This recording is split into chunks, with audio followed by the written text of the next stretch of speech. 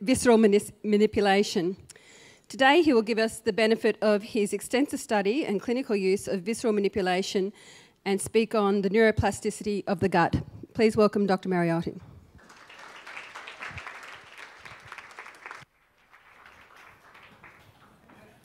Good afternoon, everybody. It's such a pleasure to be here. I can't tell you how uh, honored I am to be invited to come and speak to you about this. I, I hope that I can uh, maybe share with you a little bit of new information that uh, actually some, some interesting information on neuroplasticity of the gut. I know you've had some, some really enlightening conversations already about neuroplasticity as it relates to physical therapy and manual therapy.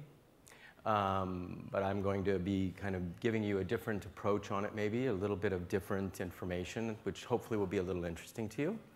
As well as I'm going to be sharing some uh, information that's pre-pub, it's not published yet, and it's some uh, uh, pilot studies that have been performed by Jean-Pierre Barral and Gail Wetzler. So let's go through a little overview. Oh, I think my slides are not. Um, there's a problem with the slides. So the top has been cut off.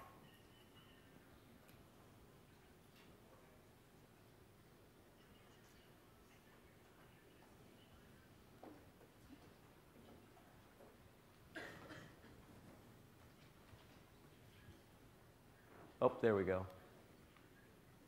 Wonderful. Okay. So we'll be discussing a little bit about neuroplasticity of the CNS, which you've had some really good introduction to. I'll be just highlighting on it just to build my case, so to speak, and the abdominal viscera as well. We'll be looking at low back pain and neuroplasticity, which I know you've already had some introduction to that, and you have probably know way more about that than I do. I'll be uh, discussing a pilot a study that was conducted by Jean-Pierre Barral, Gail Wetzler, and Daniel Amen on the effect of visceral manipulation and brain activity you're using some pre and post SPECT scans showing the difference in the, uh, what happens in the viscera after visceral, in the brain after visceral manipulation is performed. We'll be talking about some possible connections between the visceral adhesions and back pain, and then some pilot, another pilot study by Jean-Pierre Barral and Gail Wetzler, and some my own personal cases in my practice. The relationship between the pelvic viscera, low back pain, and lumbopelvic hip instability. And then, very exciting study that's just uh, been uh, completed with AJ de Koning and a couple of cardiologists in Italy on um, uh, atrial fibrillation and visceral manipulation. So, what is neuroplasticity? Neuroplasticity is the ability of the central and peripheral nervous systems to change in response to a given stimulus. This change can be in the form of both structural and functional changes. So there are a few things that it affects. Adaptive response of the CNS to learning, structural change, and sensory deprivation. A common feature, which we'll see in just a few moments, of gastrointestinal nervous system during pathological states. And a quote from this study that's listed at the bottom of the, of the uh, screen here. Nearly all chronic GI disorders exhibit a disease stage dependent structural and functional neuroplasticity. So, this is, so we'll talk a little bit about a couple of the pieces that actually go into play here. One of them is this guy here brain derived neurotrophic factor. You're probably familiar with this. So, what does brain derived neurotrophic factor or BDNF do? It protects and encourages. We still have a problem with the screen, I think, don't we? if we can bring it down just a little maybe. Uh, protects, encourages growth of neurons. Manual therapy increases BDNF.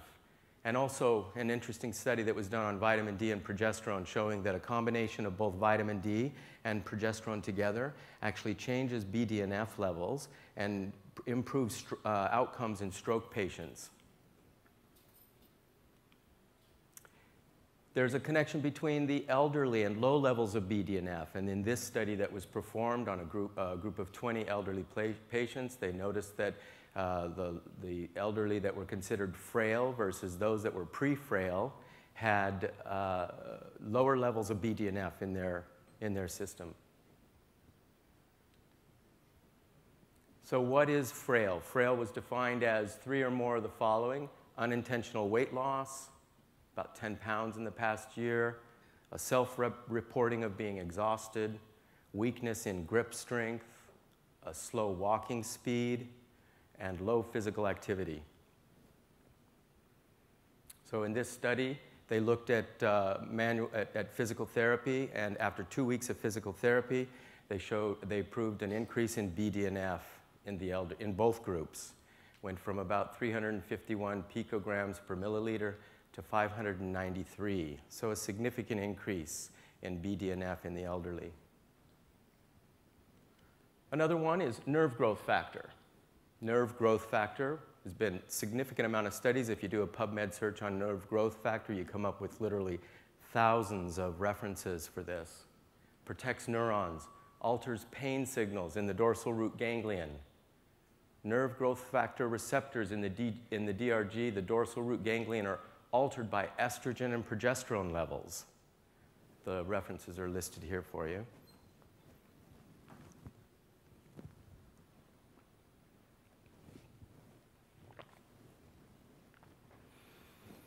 An article that came out just recently in Scientific America, which was a re release of a study that was done back in 1976 by Montalcini.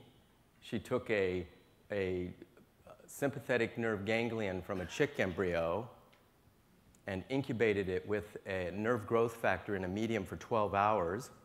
And you can see the axonal growth in the sympathetic ganglion just as a result from being exposed to nerve growth factor.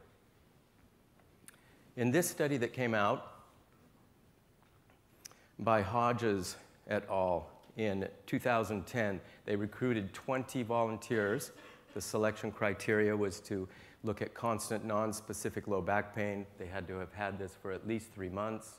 Episodic non-specific low back pain, at least two episodes of low back pain within six months, with each episode lasting at least three days. And they showed that the excitability and organization of the cortical spinal inputs to transverse abdominis muscle at the motor cortex was examined using transcranial magnetic, magnetic stimulation. They used a VAS scale, so a 0 to 10 scale for pain. They took the 26 subjects, divided them into two groups. One was a skilled training group. They taught them how to contract their transverse abdominis muscles. The other group was just a basic walking group. And then at the end of the two, week, at the two weeks, they measured them with a quick arm raise and, and then a transcranial, um, uh, magnetic stimulation just to see what happens in the cortical, in the cortical area of the brain.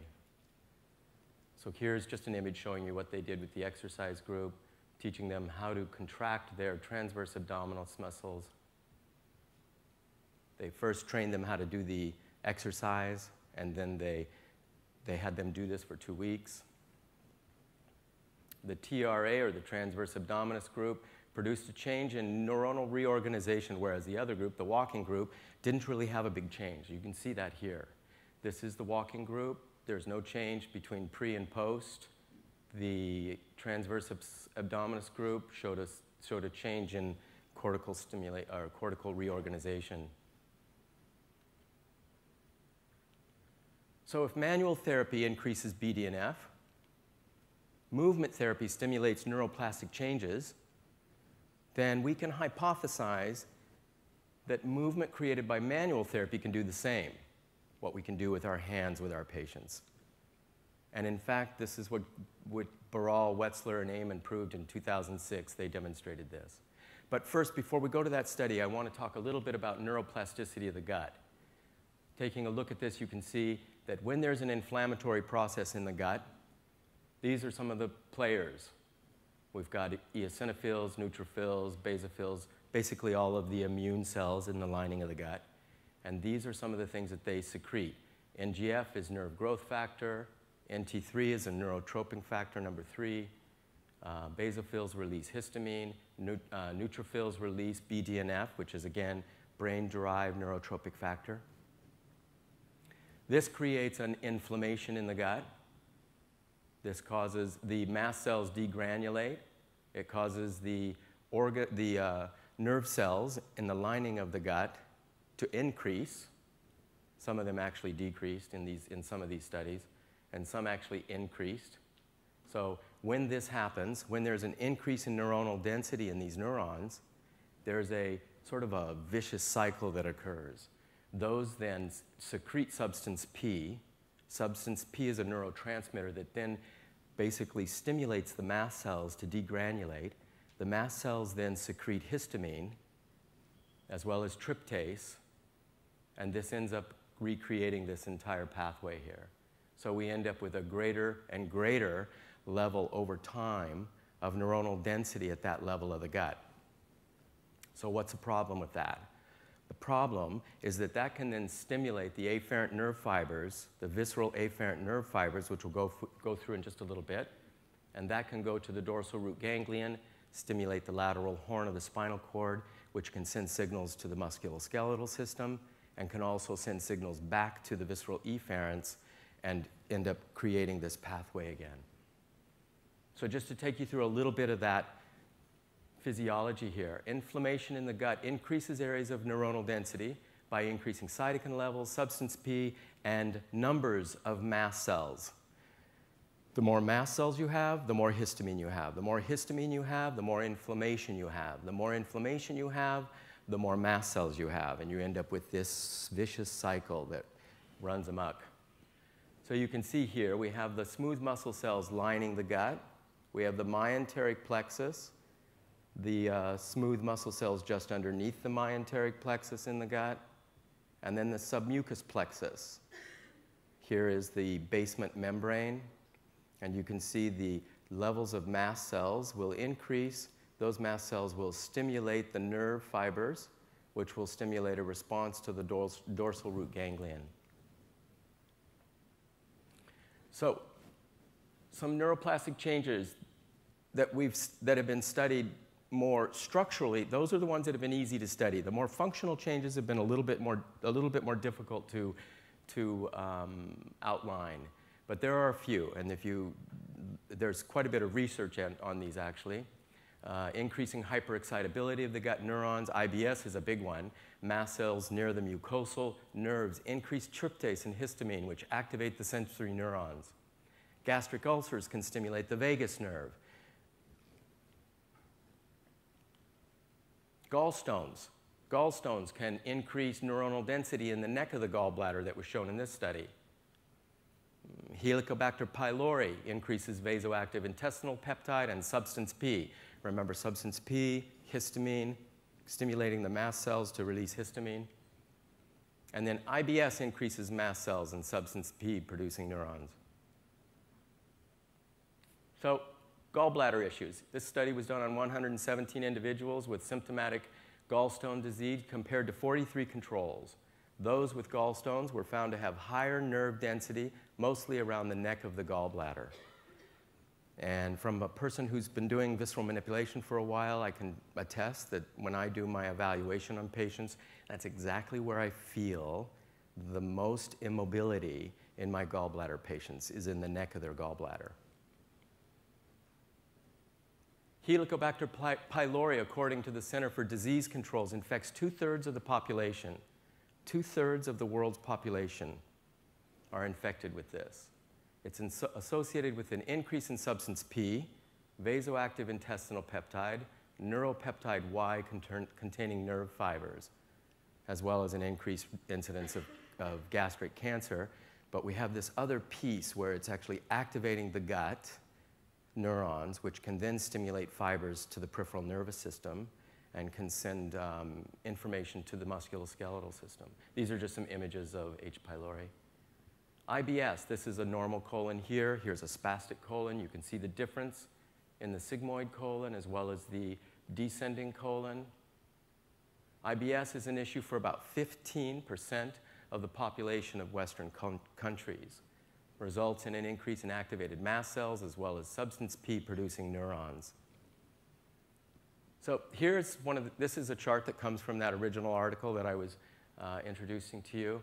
So here's a list of all the places in the gut where we end up with neuroplastic changes. Let's just look at a few of them, a few of them that you mostly will see in your clinical practices. One of them is, is achalasia.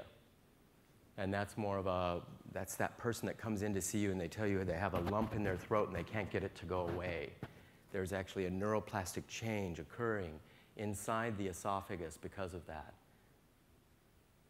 Another one would be GERD, gastroesophageal reflux disease.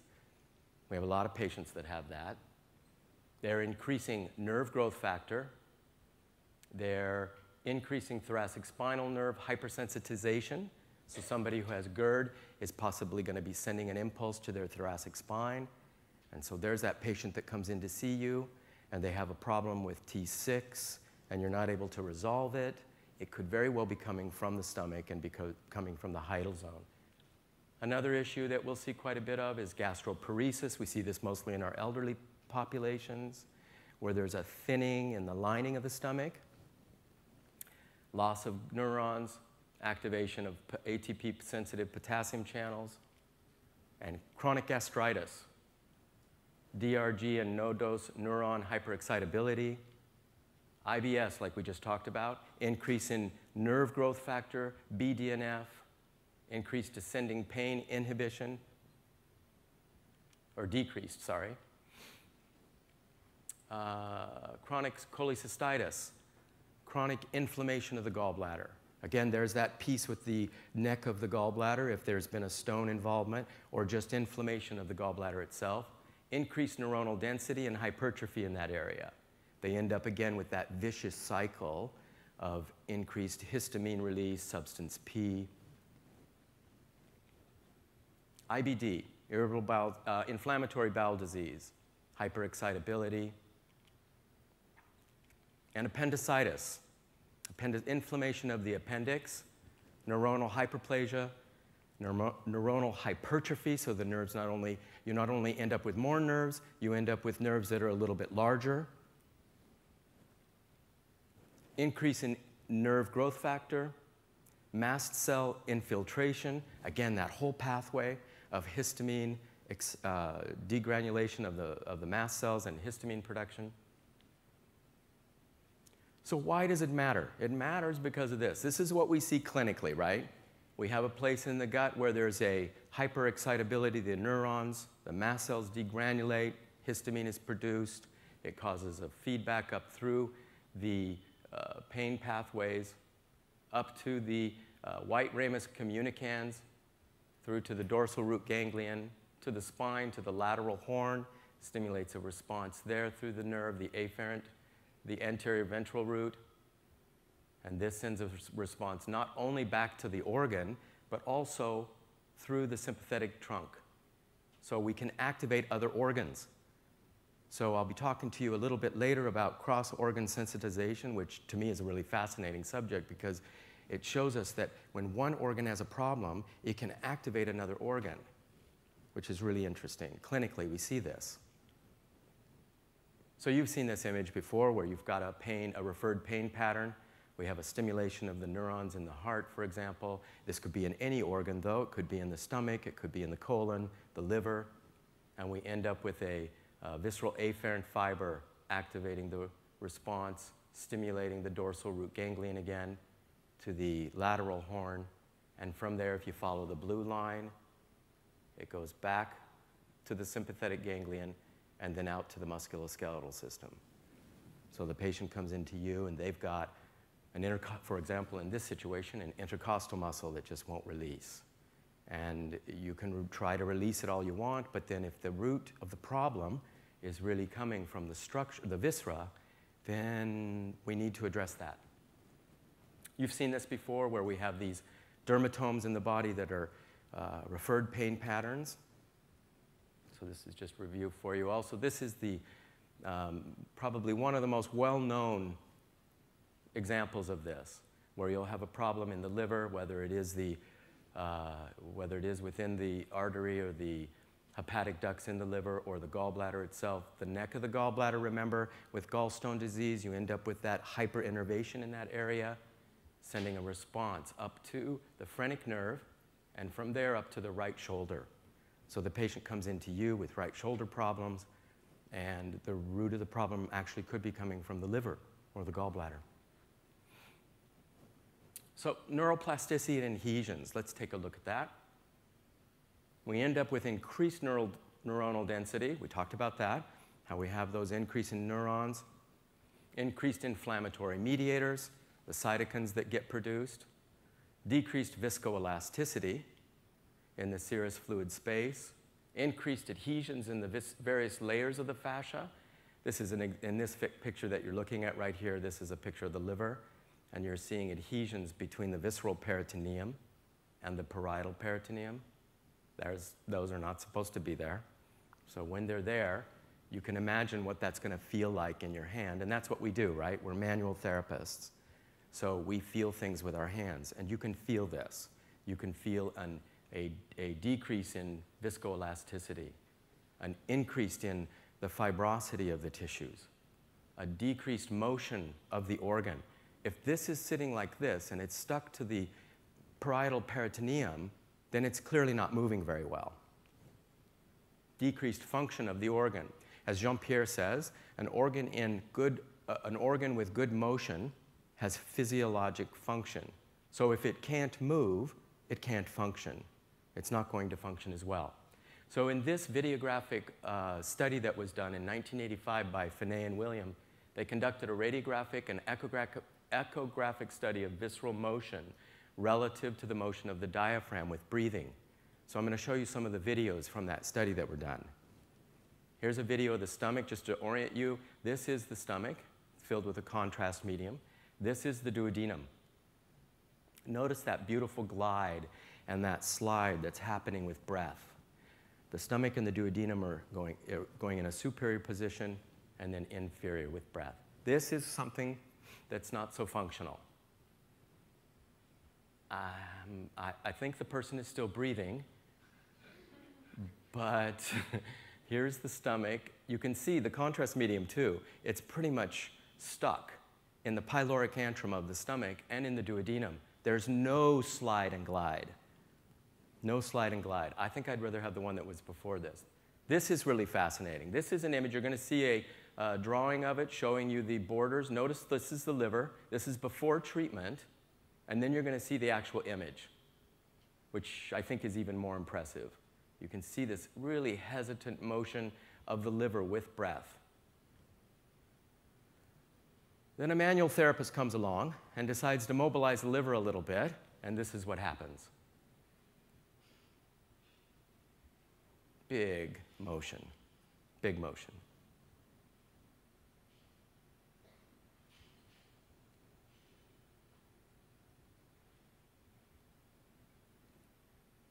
Nice big slide. If an organ can move, it can function. And I'm going to share with you a case that I've actually seen this with in my own practice that's really impressive. Here's a stomach. This is the fundus of the stomach, the pyloric antrum filled with contrast. This is the spine back here. So really hesitant, ratchety kind of motion up and down. They're breathing. The stomach has that hesitant motion. Here's after treatment. nice, big, slow, rhythmic glide, superior and inferior. So, this is a case that I've been working with. She's a 50 year, 52 year old woman. Her chief complaint is long term severe gastroesophageal reflux disease with gallbladder pain and fatty liver disease. Here's a fatty liver, here's a normal liver. There's a lot of little fat globules around the hepatocytes in here. This is going to decrease motion of the liver. She's had uh, blood labs done, her ALT and AST. Those are two enzymes that are produced by the liver. They shouldn't be any higher than 40, 45 for ALT, 40 for AST, and personally in my own practice, I don't like to see them above 20. 20, 15 to 20 is really a really, a really healthy level. She also had a gallbladder ejection fraction done. Gallbladder ejection fraction is where they do a HIDA scan while they have a radioactive dye that's been injected, and then they give them a little bolus of, an injected bolus of cholecystokinin. Cholecystokinin stimulates the gallbladder to contract, and then they take a measurement of the gallbladder before the contraction and after the contraction. And this shouldn't be any lower than about 27%. Her ejection fraction was zero. They did some scans. You can see that her ALT was at 302, her AST was at 77. They did some scans. They did a uh, liver biopsy. They could not figure out where her elevated liver enzymes were coming from. There was no pathological reason for it. This had been going on for some time, at least a couple years. She comes to see me. She had three treatments. I mobilized her liver, her gallbladder, and the common bile duct. So she had a restriction in her liver, obviously, because of the fatty, liver disease. It's quite, Im quite immobile. Uh, gallbladder, and the common bile duct. She had a lot of tension around the cystic duct, which I thought was interesting. ALT and AST returned to normal after three treatments, returned to 22 units per liter. So, a little introduction here. If you haven't seen this Jean Pierre before, this is a picture of Jean Pierre. 40 years of studying the effects of viscera on health and disease. Before I present his cases, I want to talk a little bit about some of his evaluation techniques general listening, local listening, and extended listening because it will make a little bit more sense when I explain the cases to you. So, listening, as Jean Pierre says, we are weak in knowledge. It's not possible to be precise in your knowing the patient history, their surgeries, all of the things that come into play, all of the physiological effects that could be happening. You could drive yourself crazy trying to know enough. But we're very good with our hands. Our hands are very good in feeling. You can feel with your hands when there's a tension in the body, when there's movement, and when there's no movement. So, general listening. General listening is a means of evaluating the body by gathering, it's a, it's a, it's a uh, placement of the hand on top of the head. You're evaluating the entire body for um, its general tensions. You're not getting the specificity of where the restriction actually is occurring, but you're getting the overall general pattern. Is it coming from the right? Is it coming from the left? Is it in the abdomen? Is it in the thorax? Is it in the lower extremities? You can get that from this type of an evaluation. Local listening. So after you've gotten that general pattern of where it's, where it's occurring, the local listening then gives you the details. You're determining the precise tissues within a region Let's say your listening took your general listening took you down here to the uh, cecum area because they had a chronic history of appendicitis. Maybe they had their appendix removed. And Jean Pierre has defined for us the various things through his vast amount of experience, the various patterns such as gliding, sinking. What does it mean when the tissues glide underneath your hand? What does it mean when you feel a sinking or a tilting or a rotation? they all give off a very specific meaning in the tissues. Fascia glides. If it's a solid organ, it's going to rotate your hand around something. So just to give you a little bit of a indication of what we're talking about. Extended listening is a method of manually palpating the presence of another location in the body that's connected to the primary issue. So you've got an area, let's say, let's say it's the cecum, you want to know if there's some other structure, some other organ, some other place where that tissue is creating a line of tension to. So let's take, for example, just so we can kind of visualize how this is going to play, we take, for example, a problem with the cecum. You have a person that comes in to see you with an L1 instability, L1 rotation to the right or left, maybe a flexion or extension, extension lesion. You're not able to respond, not able to get a response you can see that there is a connection between L1 and the cecum. So let's say this person, they've come in to see you because they have a problem with L1. Maybe they have a problem with their SI joint on the right side. And then you know their history. They, have a, uh, they had a, their appendix removed 12 years ago. And now over time, the adhesions start to build up and starts to rotate the right ilium internally. This starts to rotate their right knee. This can affect the obturator nerve that comes po posterior to the cecum. So maybe one of their other symptoms they come to you with is right knee pain. Then this tension starts to reflect up through the body. We saw this before. The tension starts to reflect up through the body. Here's the cecum. We have this fascia that runs posterior to the cecum called the fascia of Toldt. So this tension starts to reflect up through the fascia of Toldt into the right kidney via the renal fascia up to the diaphragm, from the diaphragm to the endothoracic fascia, from the endothoracic fascia on the right up into the pleural ligaments, and there up into the anterior longitudinal ligament, up into the sphenoid, up into the, into the cranial dura. So you come along and you put your hand on their head and you feel this. You feel their body moving around this spot. Jean Pierre says that the body hugs the lesion, and that's what he means by that. When there is a tension in the body, it will hug that tension. Over time, it can't help but do that because the body, as he likes to put it, is not masochistic. It likes to shorten the tension so that it can function better. And it does it in the best way that it can do it. And so they come to you because they have uh, right SI pain, maybe right knee pain, maybe they have headaches. And you do this type of an evaluation on them, and this is what you, what you find.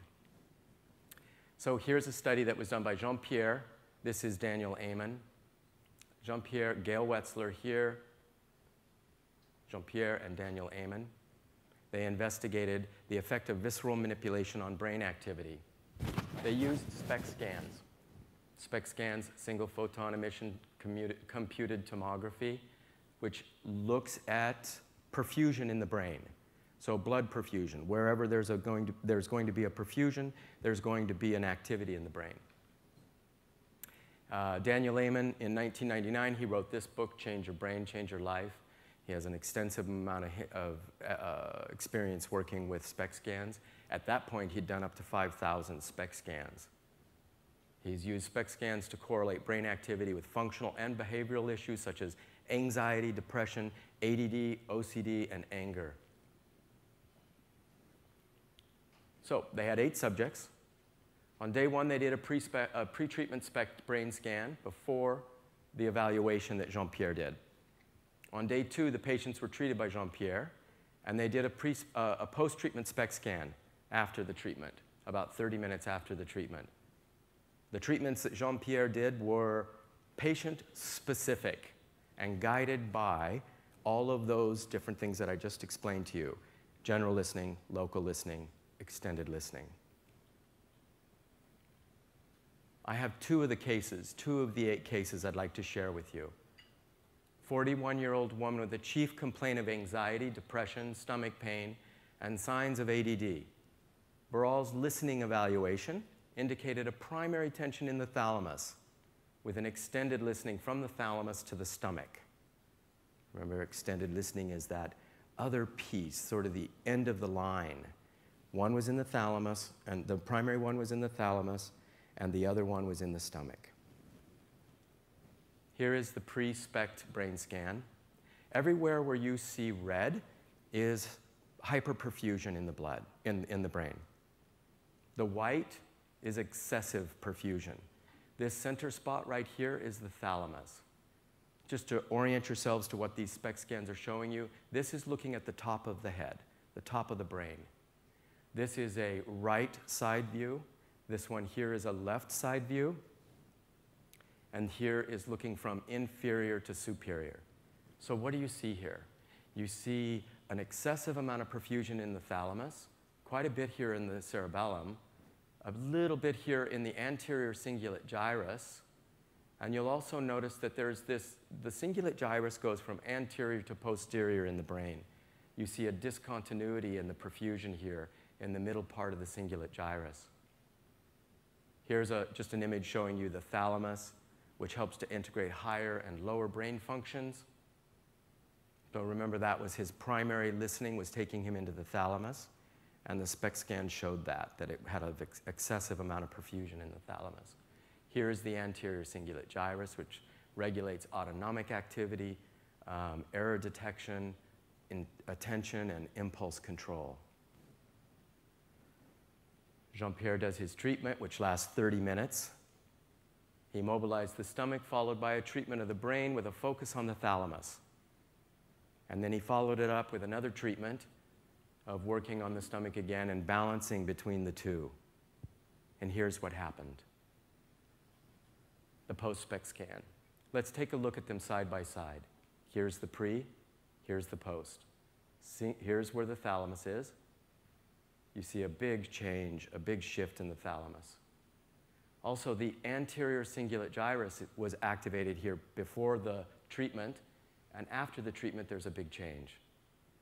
The one thing that you do notice that's increased in perfusion, though, which was of interest to them because it happened in all eight patients, was that the cerebellum was increased activity in the cerebellum. So, when, in essence, what we can see from this is that when we do a little something with the organ, we stimulate a response, a neuroplastic change within, within the brain, especially at the cerebellum, and those areas that were hyperactive are now have been calmed down a bit. Here's another case 45 year old woman with dizzy, she had a huge history dizziness, head, head pain, gait instability, three episodes of fainting, irregular heart rate, temperature fluctuations. Basically, she's not able to modulate or, or uh, control her autonomic reactions. Uh, emotional ability dominated by anger. She had bilateral hearing loss and she was overwhelmed by non-specific fear. She worked as a veterinarian and had a past medical history of 11 significant blows to the head by the horses that she worked with. And this is her SPECT scan. Oh, we'll just go through Barral's listening evaluation, which indicated a primary tension in the cranium with an extended listening to the liver. Here's her SPECT scan. Lots of red throughout the brain. Here you can see that almost the entire cingulate gyrus is activated. And even in one part of the cingulate gyrus, there is a significant amount of perfusion. She also had an excessive amount of perfusion in the thalamus. So the treatment again was 30 minutes. It consisted of mobilizing the liver and addressing the, not, the specific listening attractions in the cranium. And here's the results. Let's look at them side by side. Big difference. Big difference. The thalamus has calmed down quite a bit.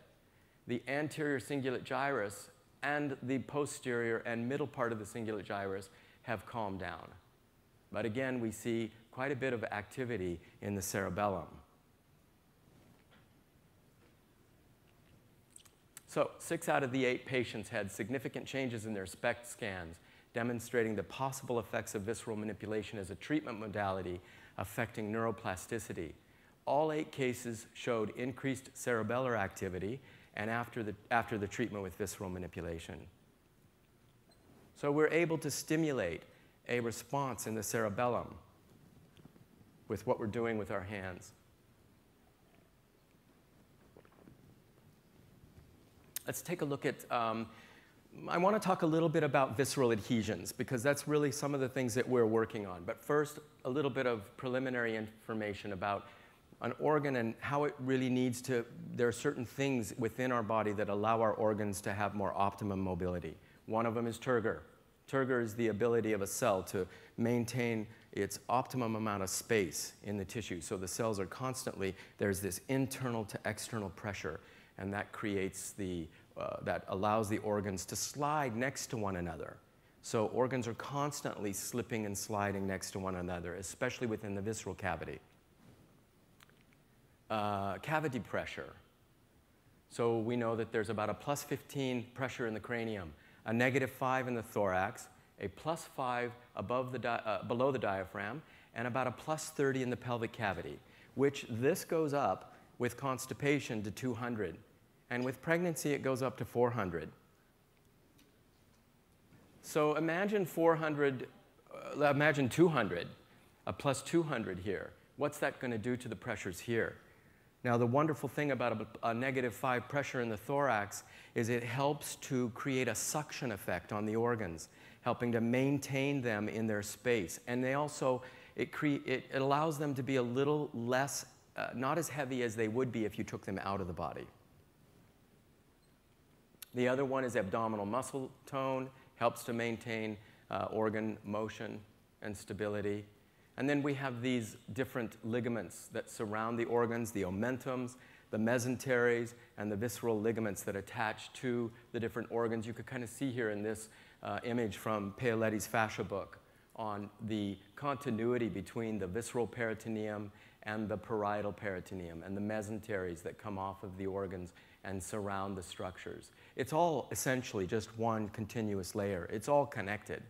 And this is why when we do a evaluation, according to Jean-Pierre's way of approaching it, we can feel a line of tension up through the tissues because it's all connected. This study that came out by Gil Hedley on uh, notes on visceral adhesions and fascial pathology. It's a very interesting study to read if you get a chance. These are some of the images that, is, that came from that, that article. He's showing you here. Gil Hedley has a massive experience with uh, fresh dissections. He has seen thousands of fresh dissections, has, has performed thousands of them. And um, you're seeing here adhesions between the small intestine loops here. Adhesions occur in more than 90% of patients directly following an abdominal surgery. And I love this 55 to 100% of people undergoing pelvic surgery. Essentially, everybody gets an adhesion. If you go in for a surgery, you're going to get an adhesion, it's going to develop. Following an injury to the peritoneum, the fibrinolytic activity over the peritoneal surface decreases, leading to changes in the expression and synthesis of various cellular mediators and in the remodeling of the connective tissue. This comes from this article on peritoneal healing and adhesion formation and reformation. In this image, you're seeing an image of the liver.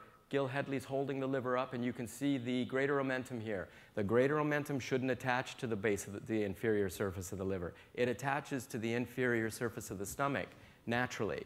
But here you have a whole adhesion of the greater omentum attaching to the inferior edge of the liver. This is the lung, and it's attached with a significant adhesion to the uh, mediastinal pleura. A few things that happen when adhesions are forming IL-6 within 12 hours. They come from T cells, macrophages, after trauma, after surgery. It has a pro-inflammatory, and it also has some anti-inflammatory effects. IL-12 within 48 hours, it stimulates pro-inflammatory pathways. It's it's a given that when somebody goes in for an abdominal surgery, whether it's a laparoscopic procedure, I love it, non invasive, right? A non invasive laparoscopic procedure or actually opening up the abdominal cavity, it's going to create adhesions. There are a significant amount of studies that have been done showing that when you inflate the abdomen with CO2 gas, adhesions ensue. So they're going to happen. They're going to happen. And it's because of all of these pieces here. Uh, IL-1 is found higher after severe adhesions, and it's purely inflammatory. Uh, TNF-alpha is found higher in level, in, at higher levels in the mild adhesions, because TNF-alpha has some pro-inflammatory and some anti-inflammatory effects as well. Here's an adhesion between a lung and the entire mediastinal pleura. It's, it, it should not be stuck like this. And what Gil is doing is peeling it away from the mediastinal pleura, you can see the parts that he has yet to peel away. So it's, all, it's completely stuck to this area.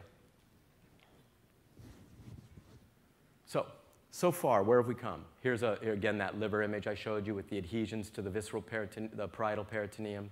Increased neuronal density, increased inflammatory mediators, which we just talked about, decreased viscoelasticity in the serous fluid spaces because of the adhesions. The, the tissue literally, the serous fluid literally becomes more sticky. The organ can't move as well. We have some adhesions that develop. We have fibrosity that develops. We have a decreased motion of the organ. And we have decreased function. So, just a review of that. Here's a patient of mine delightful person, 33 year old male with cerebral palsy, came to see me after having had in 1995 bowel obstruction surgery.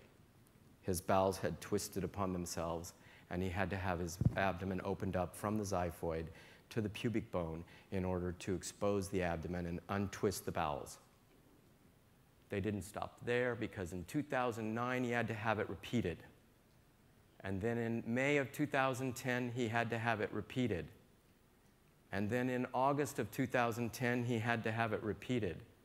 So it was getting worse. So he came to see me. We started visceral manipulation in 2010, in October, two months after his last bowel obstruction surgery. My general listening and evaluation took me to the right lobe of the liver. From there, it took me to an extended listening to the right kidney, because they're both connected via the fascia of Toldt and the renal fascia. Corresponding torsion pattern, which I thought was very interesting. In his brain, he had a torsion pattern within the corpus callosum. So I worked on those, those um, issues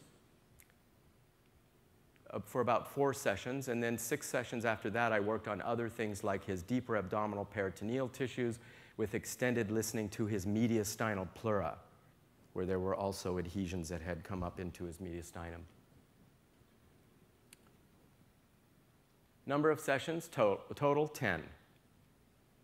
Still to this date, two and a half years later, no recurrence of bowel obstruction and he has an increased weight gain and a sense of well being. Here's a gentleman that I've been working with who's a 62 year old male. His chief complaint is severe abdominal pain after having his colon removed two and a half years prior. He had back pain. He had severe depression to the point of being suicidal. He had severe right pain because they had had to, he had 16 dislocations of his right arm, and they had to open up his, they did a mild arthroscopic surgery on his right arm, and it caused a septicemia. So, because of the septicemia, they had to open up his arm surgically and allow it to remain open for about two uh, weeks. What you're seeing here is a significant amount of inflammation in his right lower quadrant because of a pouch. He has pouchitis he has a J pouch inserted in there because he no longer has a colon. So he came to see me because he had significant amount of abdominal pain. It was the main reason he wanted to see me. General listening took me midline, anterior, and below the diaphragm. So in other words, in this sort of general area. Uh, my um, local listening took me to the stomach and, and at the midline scar. So I had two listenings here two spots where he was leading me to. So what I did was I inhibited the stomach. When I inhibited the stomach, the listening at his midline went away, which led me to believe that his primary issue was in the stomach. So I did an extended listening from the stomach, and it took me to his spleen. Here's where I'm going to be working stomach and spleen. There's a fascial connection via the gastrosplenic ligament. The treatments were on the stomach and the spleen for four treatments over four months, one a month. The results were almost immediate, two to three, day, two to three days after the session, the first session, relief of his abdominal pain. It started to come back a little bit. I continued to treat him, and he now is still without abdominal pain. And his depression is gone. He was a bit scary for me because when I asked him, Did you have a plan? He said, Absolutely and I have the means to do it. And he was so, he was so methodical about it and so disconnected emotionally from what he was going to do. He just could not stand the pain anymore. And so he was going to, he had a plan, he was going to do it. And he's doing fine to this date. So, here's a study that was done um, on visceral adhesions and how uh, this study just came out in 2012 uh, how visceral mobilization can lyse and prevent peritoneal adhesions in a rat model. They took three groups of 10 rats, they them in, divided them into three groups, a lysis, a control, and a preventative group.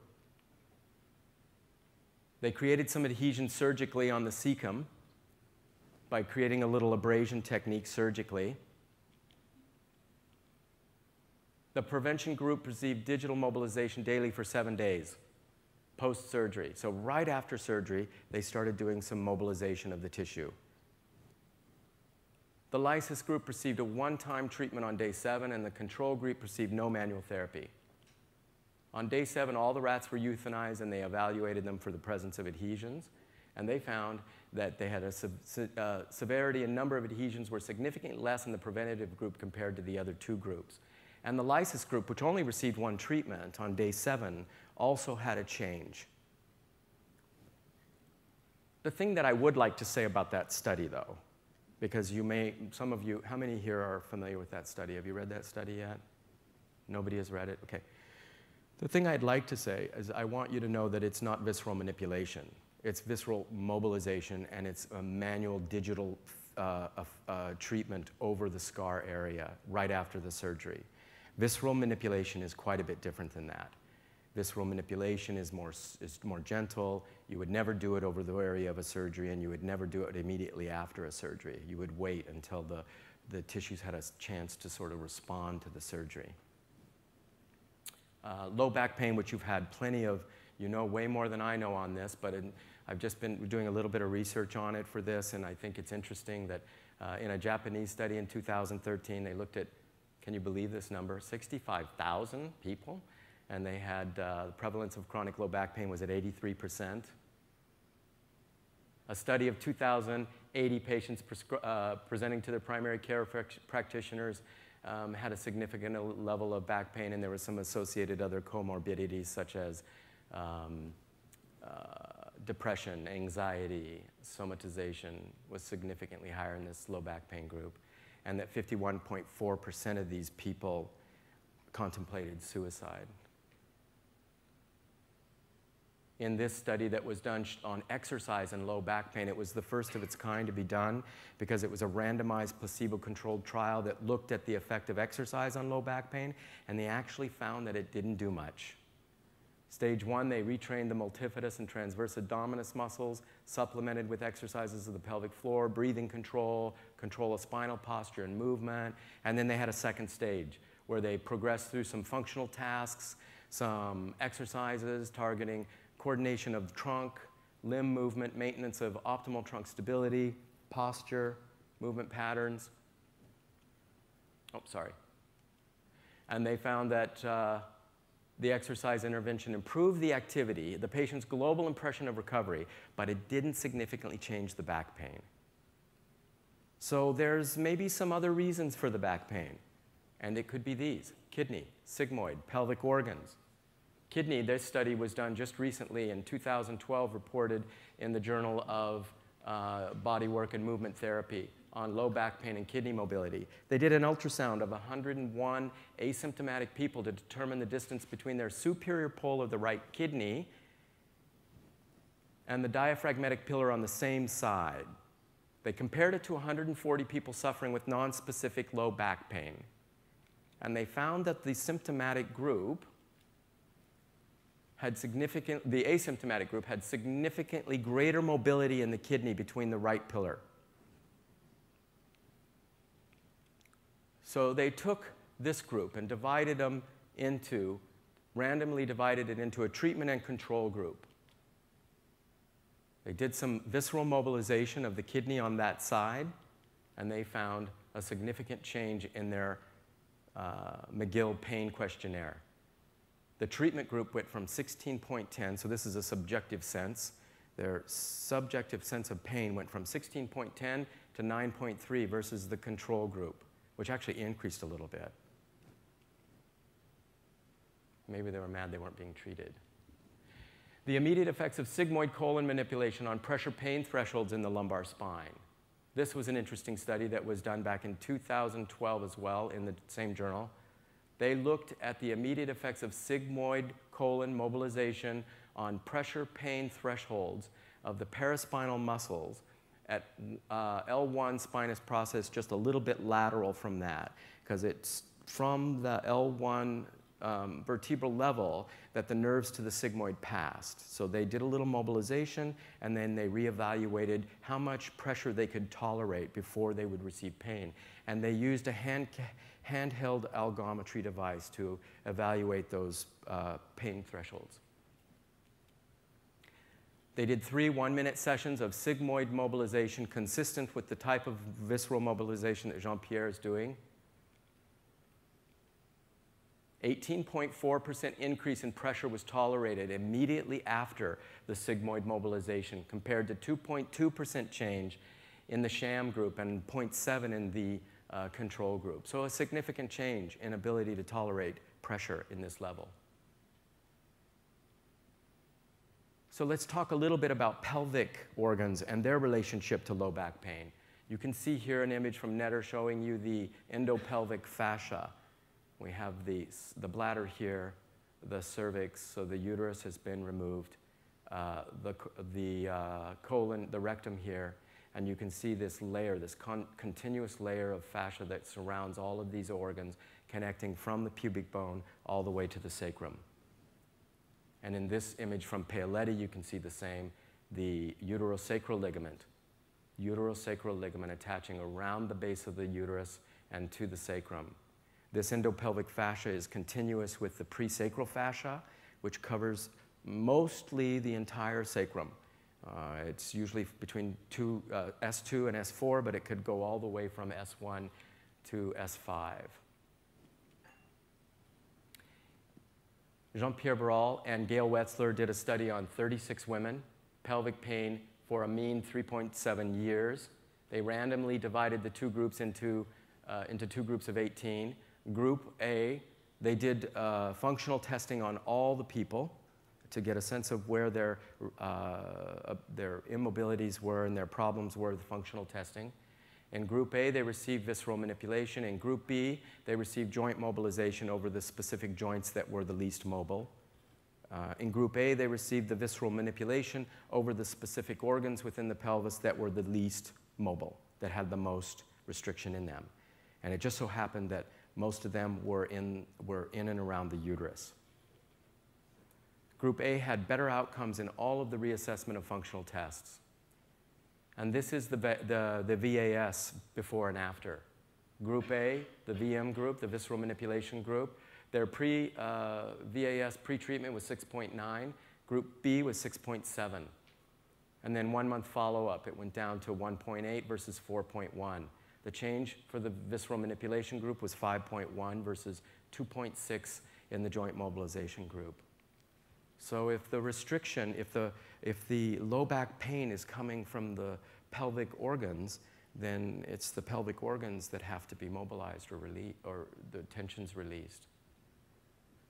Most of the treatments that were done on these women were between the uterus and the bladder, between the uterus and the broad ligament to either side, which attaches to the ilium between the AIIS and the pectineal line. So, really kind of covering the whole lower pelvic floor. And also between the uterosacral ligament. In this case, it's my own, one of my own uh, cases. 48 year old woman, nine years of low back pain, constant, severe not able to resolve it no matter what she's done. She had 13 years of severe bladder incontinence as well, which I thought was interesting. That was, that was not why she was, um, which is actually, this is why she was coming to see me, for the bladder incontinence. And a second degree cystocele. A cystocele is the bladder pushing into the anterior wall of the vagina. She had a history of a severe injury to her coccyx and L5 vertebra and that's where they believed all of her low back pain was coming from. And she just sort of lived with it. She had nine years of it and figured that, that nothing was going to change. Her occupation was as a potter, so she spent all day just kind of hunched over around her potter's wheel. Her VAS before treatment was six on a one to 10 scale. I treated, uh, my general listening went into the anterior pelvic cavity, and I worked with her uterus, which sits right here, in relationship to her uterosacral ligament, which wraps around the uterus and attaches again back to the entire presacral fascia. I worked with the pubovesical ligament. These are the pubovesical ligaments here. So I worked with the one on the right. It all was right-sided. Um, and the articulation between the uterus and the bladder. There was, a, there was an adhesion between the uterus and the bladder. After the first treatment, she had at day 15 after the treatment, a 15 day follow up, her back pain went down to 40%, which was not why she actually came in to see me, but her back pain went down to 40%. Her cystocele, which she felt as a pressure in her pelvis, was uh, still there after the first treatment, but she no longer felt the pressure, and her incontinence was significantly improved and she felt that she had better control over her Kegel contractions, whereas before she said she couldn't even feel them. So let's talk a little bit, before we talk about the atrial fibrillation studies, let's talk a little bit about uh, converging neurons and how that when one organ is stimulated, it can actually stimulate another organ. The stomach and the heart share a converging neural connection via the vagus nerve. You can see that here at the vagal nu nucleus. The nerve comes out, it has a branch that goes to the heart, it has a branch that goes to the stomach. Interesting, too, is that when ghrelin is induced, it stimulates, it's a peptide hormone in the stomach that's in the fundus of the stomach. It actually suppresses cardiac sympathetic nerve activity. In this study that was done, they distended the stomach and they found that it actually activated spinal thalamic tract neurons. In an animal study on rats, they looked at, uh, they took and introduced a noxious substance into the pericardium, or they distended the stomach and they found that this activated about 85% of the gastrocardiac converging neurons. In another animal study on cats, they determined that the distension of the gallbladder activated the lamina 4 and 7 in the T2 to T4 segments and increased blood pressure. So a little bit of a couple facts about uh, from 2005 on uh, atrial fibrillations. It's resulted in 350,000 hospitalizations, 5 million office visits, 276,000 emergency room visits, 234,000 outpatient office visits, and a whopping $6.5 billion in expenses. It's three times more likely to be seen in men that are 70 years of age or older. And if we look at the global population back in 2005, over 80 years old, it's gone from one, it 2005 it was at 1.3%, and 2050 it's going to be at 4.5%. So we're going to start seeing more of this and not less of it.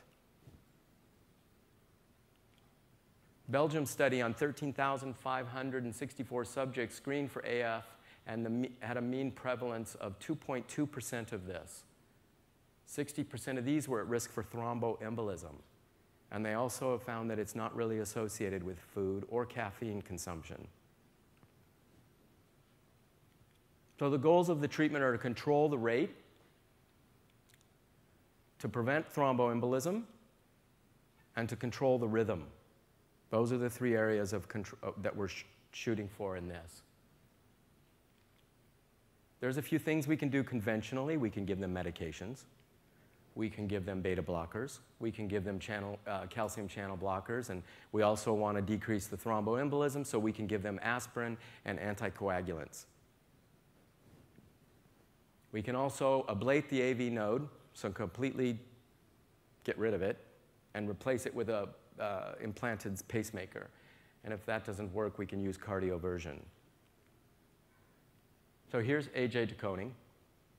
He's an instructor for the Barral Institute. He also runs the Barral satellite in Italy. He was approached by this cardiologist, Dr. Bianchi, because he couldn't stand very long during his cardiac surgeries. And so he went to see AJ de Koning to see if he could help him. The results were good. And so he asked him if he would like to join he and his colleague to work on some of their atrial fibrillation patients in their hospital and see if maybe some of this stuff could actually help them. Here's an image of the stomach and the visceral peritoneum, the, um, visceral peritoneum of the stomach and the parietal peritoneum with adhesions to the anterior uh, surface of the stomach. This is an adhesion between the stomach and the parietal peritoneum. They looked at, four, they took, a, the study size was, at, was a N of 40. The general listening on everybody was to the left epigastric area, and the local listening was to the stomach. So you remember what we, I just spoke about what general listening and local listening were. Mobility evaluation of this area over the stomach showed a significant reduction in movement between the anterior wall of the, the anterior peritoneum of the stomach and the uh, parietal peritoneum. And a few facts about the patients themselves. They all had a history of one of the following acute or chronic gastritis. This is an image of gastritis with a reflux of bile back into the stomach. Bile is actually supposed to go the other direction. They had poor eating habits. They had GERD, gastroesophageal reflux disease. So they treated all 40 patients with the exact same technique over the stomach. They saw them two to three times. Half of them were, were performed under ECG monitoring, and all the patients wore a 24 hour Holter uh, after the treatment to evaluate their cardiac rhythms. And this was a sampling of the data. This is 24 of the 40 subjects. Nobody had increased symptoms, so that's good. We want to know that we're not making them worse. One of them had a lower frequency of arrhythmic episodes. Five of them had lower frequency and were able to actually decrease their medication intake. 13 were actually free of medication and incidental arrhythmic episodes. And five were completely asymptomatic and free of all medications. So the hypothesis that they came up with that was causing this was because of the afferent gastric vagal innervation, creating a visceral visceral reflex. Remember, we talked about those. Activation of one organ can affect another organ. Distending of the stomach can cause other problems in the heart. They believe that it's coming from the solitary nucleus and or the nucleus ambiguus, creating a central convergence. So you can see here just a diagram of the nerves from the vagus nerve coming from the uh, solitary nucleus and nucleus ambiguus. The nucleus ambiguus provides neural input that affects the respiratory sinus arrhythmia. And in an animal study that was done on rats, it was demonstrated that the NA is able to inhibit gastric mobility via the vagus nerve. So then we also have this other piece that it could be the NTS. So we don't exactly know where it's coming from. We need more research on this. But um, it's, it also could be something other than that. So all the patients were benefited by this treatment. They had improved gastric mobility and decreased gastric symptoms. They had definitive, um, measurable changes in their cardiac arrhythmias and tachycardic events.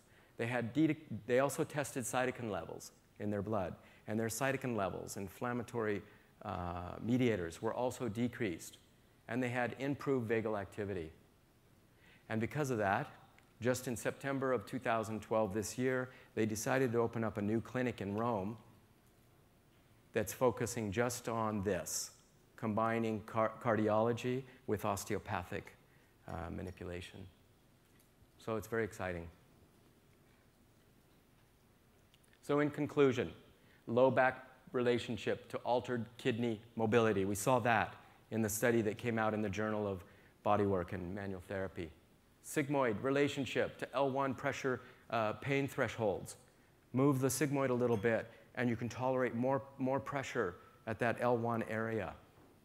Fascial connections between the uterus and the sacrum, uh, in particular the patient that I worked with, and also in the 36 uh, subjects that uh, Dr. Uh, Jean-Pierre Barral and Gail Wetzler worked with.